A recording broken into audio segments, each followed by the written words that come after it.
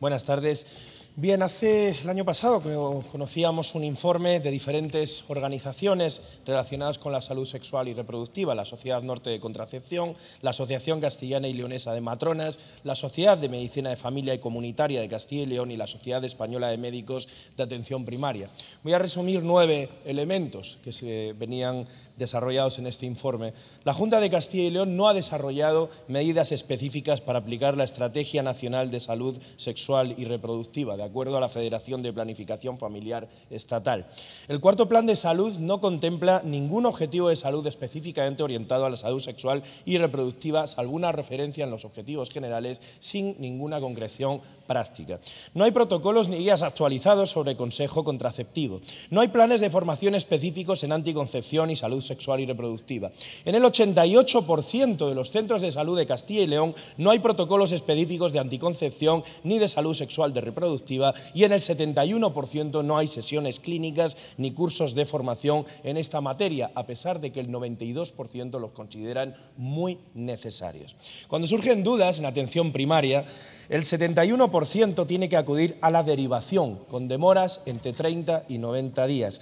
No existen consultas específicas para atender los problemas relacionados con salud sexual y en muchas partes de nuestra comunidad autónoma los centros de planificación familiar se encuentran cerrados o bajo mínimos. ¿Cuál es la explicación que tiene que darnos la Junta de Castilla y León? Gracias. Para contestar tiene la palabra el consejero de Sanidad. Gracias, señora presidenta. Pues señor Sarrión, usted ha leído algunas citas y algunas partes de ese informe. Eh, no sé si ha olvidado o ha obviado hacer referencia a otras. Nosotros nos hemos reunido precisamente con, este grupo de sociedades, con, la sociedad de, con el Grupo Norte de Contracepción, con Socalefic, con la Sociedad de Médicos Generales y con la Asociación de Matronas, precisamente para valorar su posición y para incorporar medidas que mejoren eh, la situación eh, de la salud sexual y reproductiva en nuestra comunidad. Fíjese qué curioso es, mm, se, hace una se dice que se hacen referencias demasiado generales en el plan de salud.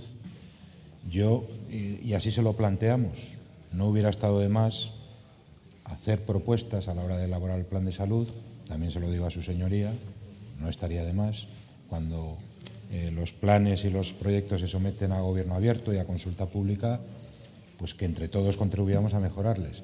Y desde luego, pues probablemente falte algunas referencias y faltan algunas cuestiones que tienen que ver con, con la formación. De todo ello hemos hablado con estas cuatro sociedades científicas y estamos trasladando y trabajando para incorporar algunas cuestiones, especialmente en materia de formación de nuestros profesionales y de información, porque algunas cosas ya las tenemos hechas en otros ámbitos en nuestra comunidad autónoma. Muchas gracias.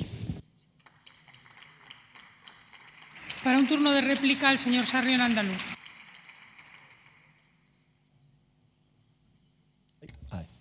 Gracias. Hombre, pediría que si hago una pregunta se me responda. No me diga vamos a hacer algunas medidas, le pediría que me explique cuáles, porque esa es la respuesta correcta a una pregunta. Voy a incidir además en un elemento.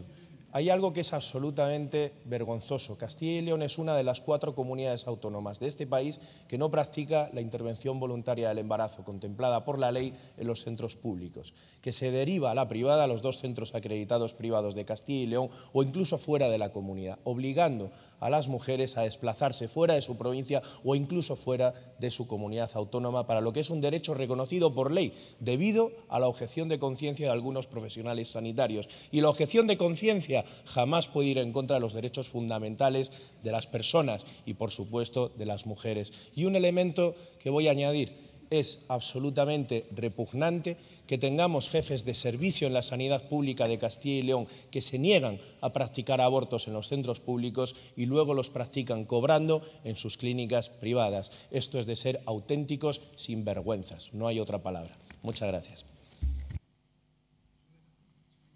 Para un turno de dúplica, el consejero de Sanidad. Gracias, señora presidenta. Bien, empiezo por el final.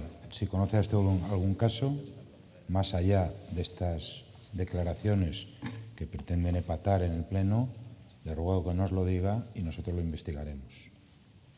No es la primera vez que escucho algunas cuestiones de este tipo y después nadie concreta estas acusaciones genéricas. De manera que yo le pido que por la vía que usted considere más oportuno nos, nos haga llegar en su caso eso, porque a mí me parece que no es de recibo que se puedan producir esas situaciones. Segundo, efectivamente en Castilla y León no hay, no se realizan interrupciones voluntarias del embarazo en los centros públicos. Pero es algo que está así regulado y también está reconocido el derecho a la objeción de conciencia. Por lo tanto, mm, yo ahí no le puedo decir mucho más.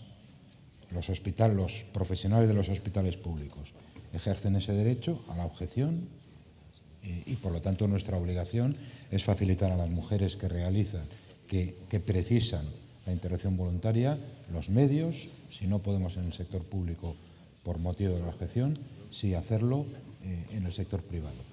Sí, sí, sí, yo no puedo obligar a ningún profesional a dejar de objetar si ese es su criterio. Por cierto, también la tasa de, interrupciones voluntarias, después de La Rioja, esta es la comunidad donde menos eh, tasa de abortos o de interrupciones voluntarias de embarazo se produce. También hay que tenerlo en cuenta. Le diré también, señor Sarrión, que nosotros tenemos distintos programas en atención primaria, eh, en, los servicios hospitalarios, que el acceso a los distintos anticonceptivos se está planteando con carácter más o menos normal, sin grandes, sin grandes inconvenientes. Y que desde luego estamos trabajando fundamentalmente en reforzar, fíjese, eh, a España se le acusaba recientemente en un informe de que no tenía información digital. Nosotros tenemos en la página web información completa. tiene que terminar. Un informe, un, un, servicio de información telefónica bastante completo y desde luego seguiremos trabajando con estas cuatro sociedades científicas para mejorar, especialmente en materia de formación, en estos aspectos. Muchas gracias.